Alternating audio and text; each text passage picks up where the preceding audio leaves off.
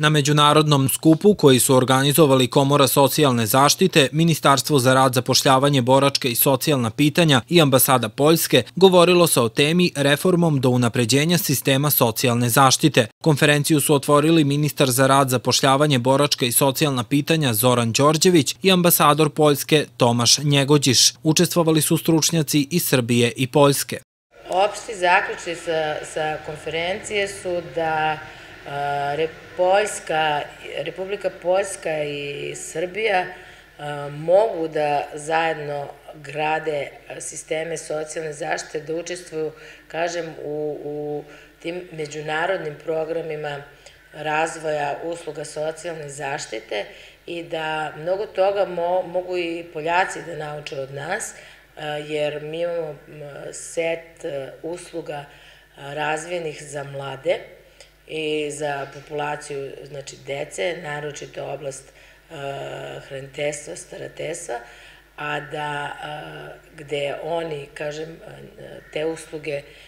malo drugačije rade i možda nisu na stepenu razvoja kao što su kod nas, Razmena iskustava sa stručnjacima iz drugih zemalja mnogo znači, kaže direktorka Pirotskog centra za socijalni rad. Profesionalci iz Poljske su nama prezentovali neke njihove programe, pre svega te seniorske programe, to su programi za starije, koji su jako bili interesantni, naročito meni iz razloga što mi želimo sada da unapredimo na, u, u Pirotu usluge za stare, za starije, E, tako da e, smo, kažem, tu kasnije u neformalnom razgovoru razmenili određene iskustva u realizaciji, odnosno e, podsticaju razvoja usluga za starije. Svaka takva razmjena iskustva je veoma značajna. Ona nama da nove ideje. Ja moram da kažem da je naš sistem socijalne zaštite jako dobro razvijen, da kada bi mi imali malo bolje uslove za rad i kada bi neki drugi faktori bili ispunjeni, mislim da bi sistem socijalne zaštite koji sprovodi Srbija e, bio vodeći u,